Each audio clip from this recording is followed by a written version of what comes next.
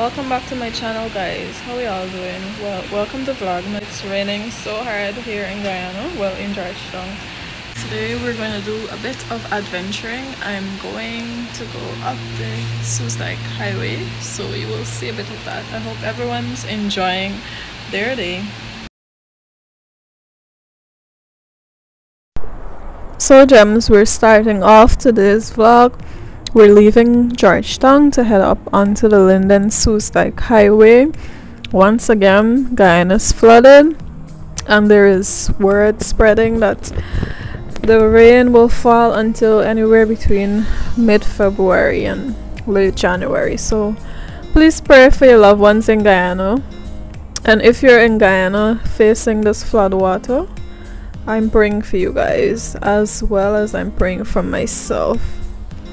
This is beyond ridiculous. I don't know. Is there anyone who could say what is the solution to all of this water? It's everywhere.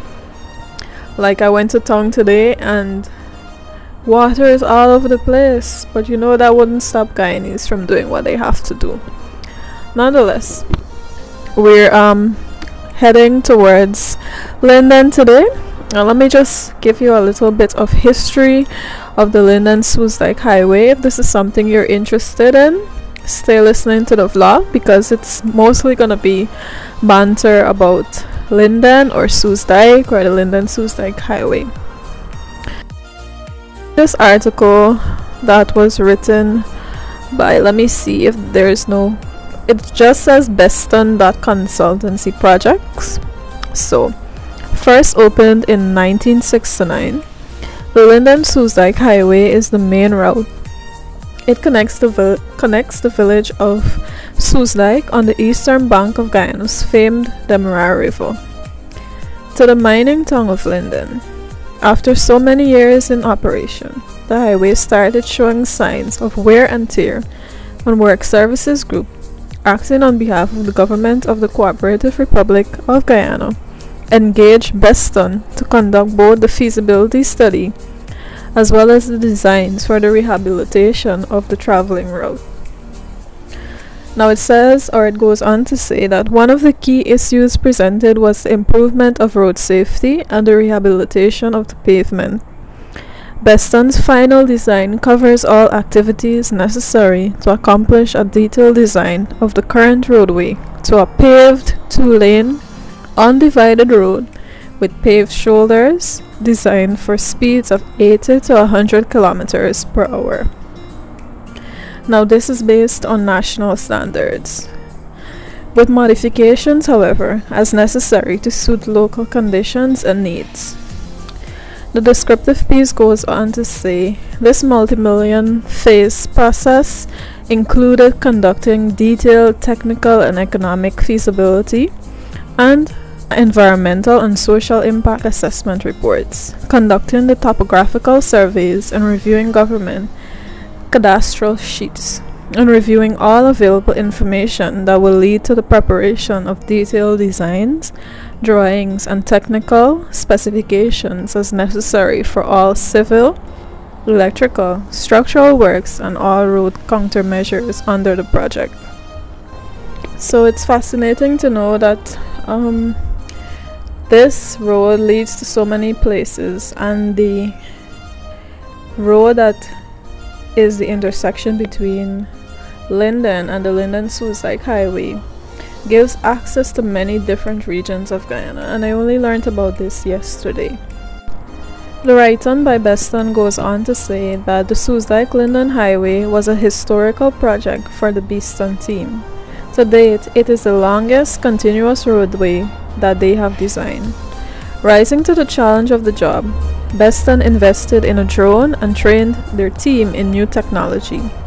They manually set ground control points, collected drone flight data, then they processed that data through virtual surveyors, a program that allowed the surveys to be completed in a substantially shorter period of time.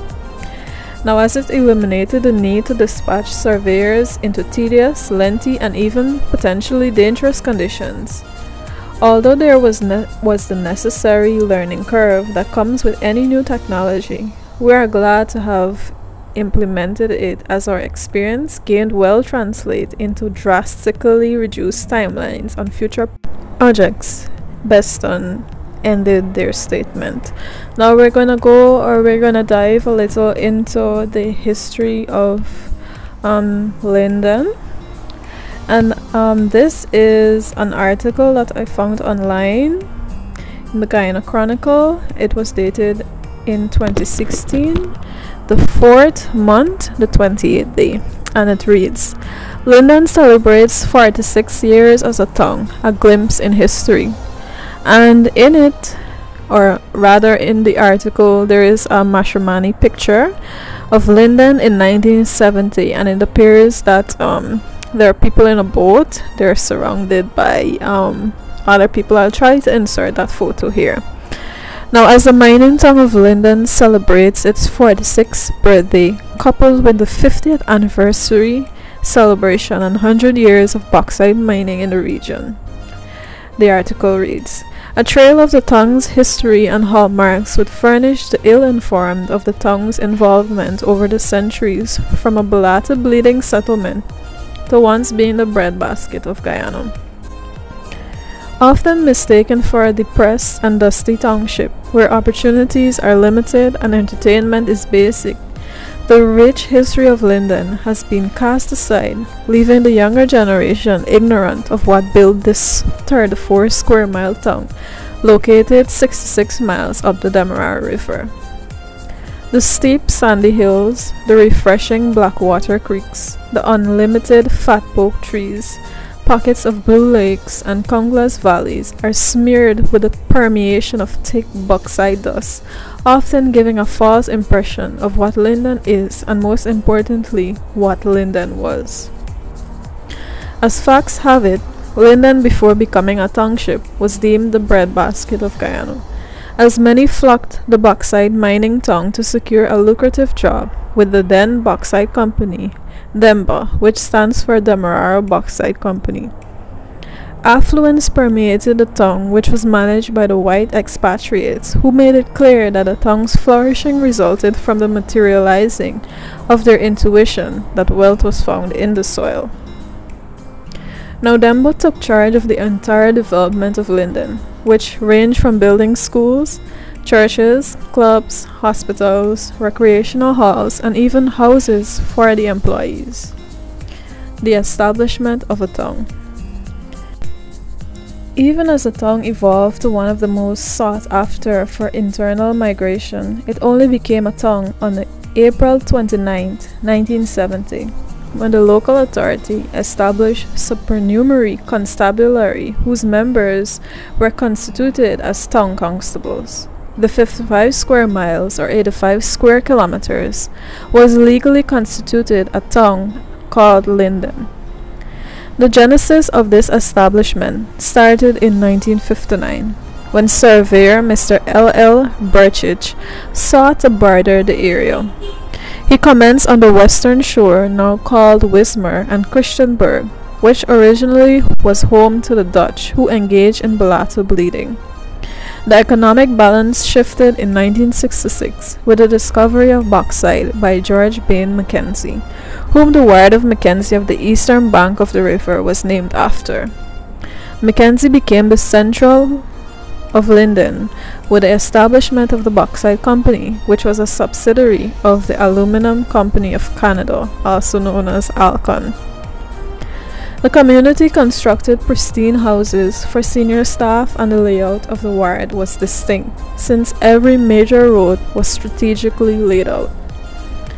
Only company employees resided in Mackenzie, and some communities, such as Richmond Hill and Watooka, was only occupied by expatriates.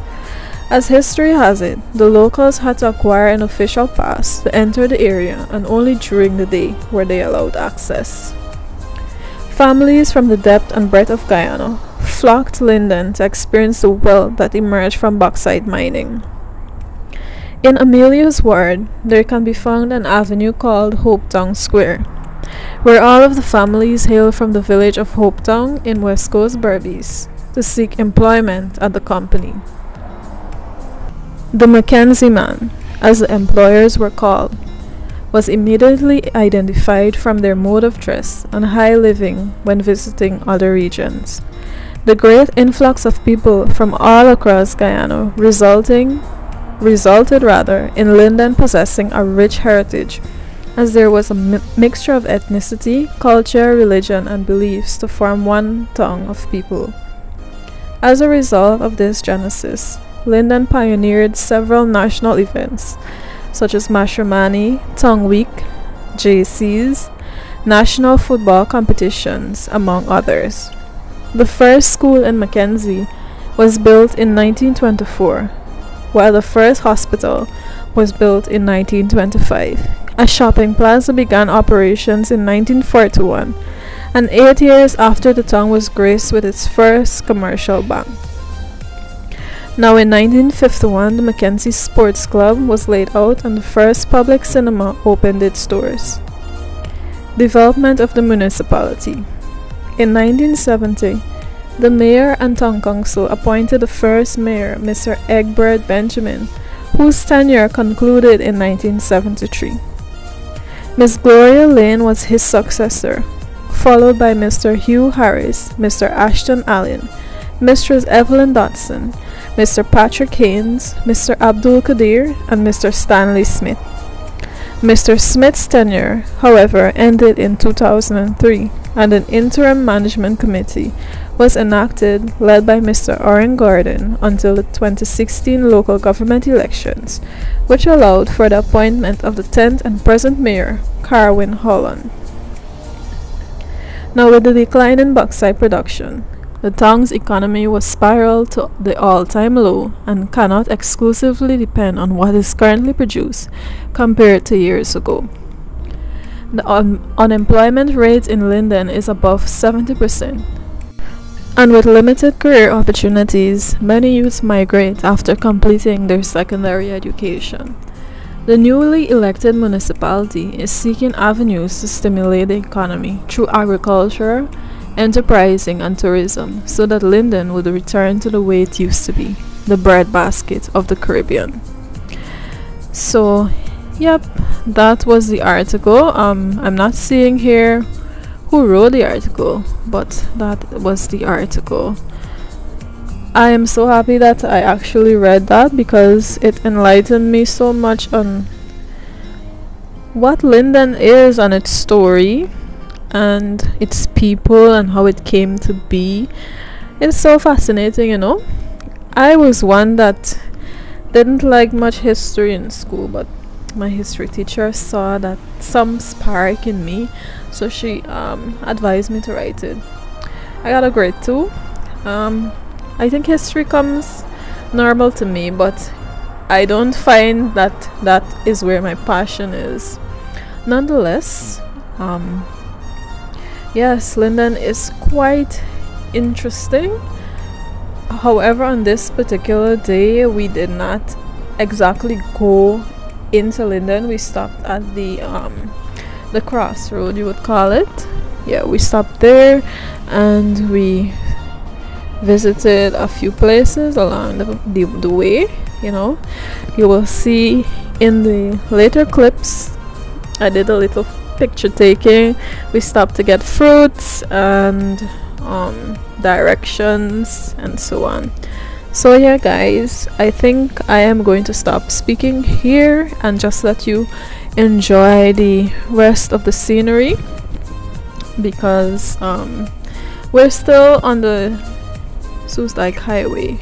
So yeah i want you to just enjoy and take in the breathtaking place that is um, the Linden Soestdijk Highway and then now we're actually passing the intersection between Linden and Timehri so in the next direction that's taking you to Timehri where the airport is.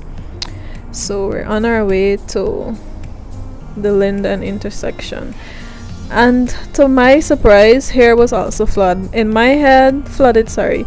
In my head I thought that you know because of the altitude that there wouldn't be water. But remember um, as you go up there is always a part that is below. So the parts that were below like here would have collected all the water runoff from all the other places. So when we were coming back it had a lot of traffic here nonetheless guys thanks for watching today's vlog and I do hope that you make it to the end so that you can see the fruits and so on and my little um, picture taking moment. This was a nice experience a nice trip to learn and I do hope that you enjoy my narration and that you're safe with your families that everyone is cozy and at home and if not I'm going to offer a special prayer for you tonight that your shoulders are lightened and that your worries are taken, even if just for a bit. Remember to like, share, comment, and subscribe to my channel. Your subscribing is helping my channel to grow. Your liking and sharing is also bringing in new subscribers. Um, I have a goal of a thousand subscribers to reach by the end of this month. I do hope that I can attain that, if not, early next year. So once again guys, thank you for consuming so much of my content and put on your notification bell so that you will see what's next. Until next time, my beautiful friends, my handsome friends, and my friends. This is the Guyanese Gem saying, bye.